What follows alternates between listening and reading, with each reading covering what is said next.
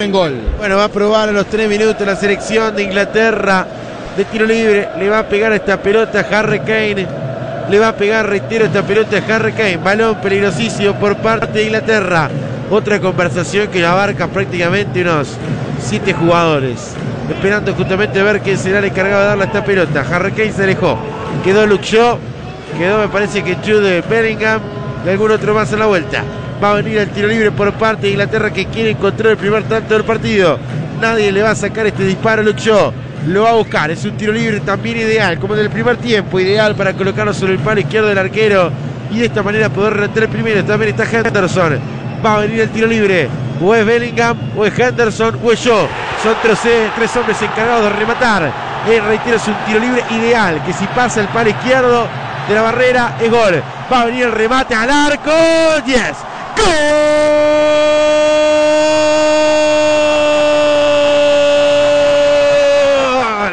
¡Gol!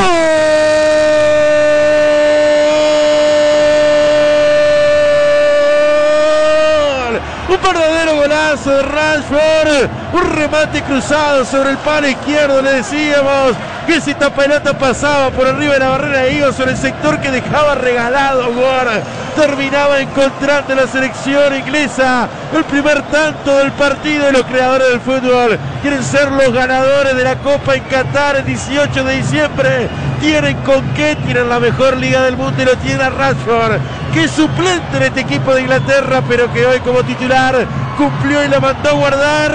Inglaterra gana 1 a 0 el clásico británico sobre Gales. Rashford el gol. Y se hace justicia con el trámite del partido, con lo que habíamos observado en ese primer tiempo, independientemente de que Inglaterra, que había sido superior, no había podido concretar en gol. Y ahora sí, en el arranque de esta segunda parte, cuatro minutos y medio, golazo de tiro libre. Rashford, este número 11 que ya había tenido por lo menos tres situaciones de peligro en la primera parte y no había podido concretar. Ahora sí, en forma impecable, le pega, no desaprovecha esta posibilidad de tiro libre para vencer al portero Ward de Gales y poner el 1 a 0 que merecía la selección de Inglaterra.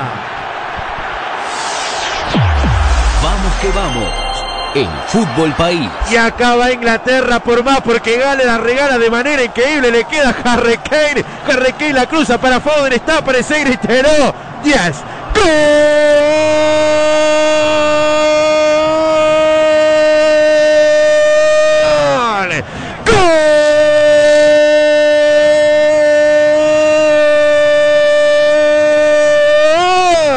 De Inglaterra, Foden apareció sobre el segundo palo. Un obsequio navideño de Merry Christmas para la selección inglesa que tomó la pelota sobre el sector derecho. Y a las 5 de la tarde, a la hora del té, Inglaterra se sienta para ver con total tranquilidad una victoria espectacular sobre su clásico rival. Foden el gol, asistencia de Harry Kane.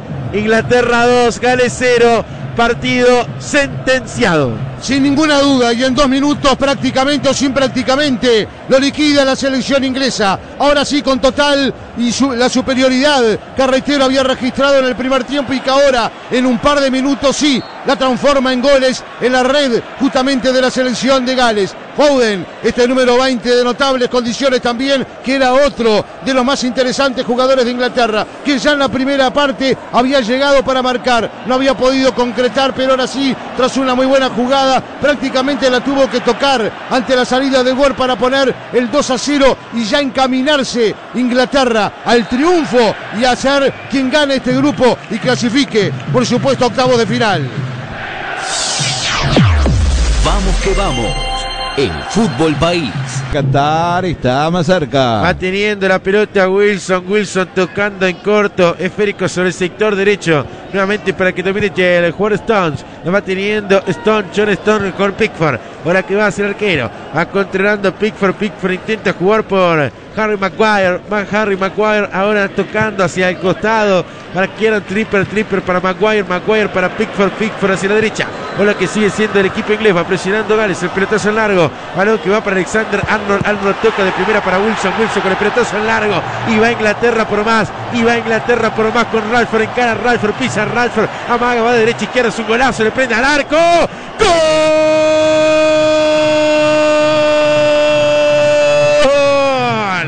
¡Gol!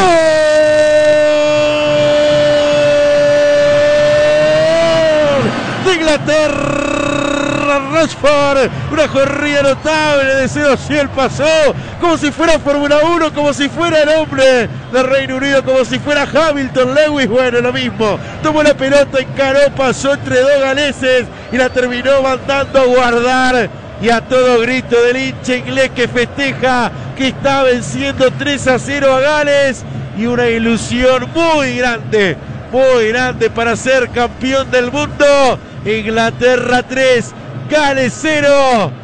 Gol, yes, Radford el gol. Ahora sí, definitivamente liquidado el partido. Más allá de que Inglaterra lo controlaba, intentaba el descuento Gales, pero con muy poco. Pero esto es un poco la diferencia que se ha registrado, que hemos visto en este partido. Inglaterra con total autoridad, reitero el concepto, y ahora sí, liquidándolo. Rashford con un verdadero golazo, se sacó de encima su marcador, encaró, le pegó de zurda la pelota, eh, pasó prácticamente entre las piernas del arquero Que no la pudo rechazar. Golazo de Rashford, este muy buen delantero de Inglaterra, pasó a ganar 3 a 0 y todavía puede tener algún gol más a su favor. Vamos que vamos. El Fútbol País.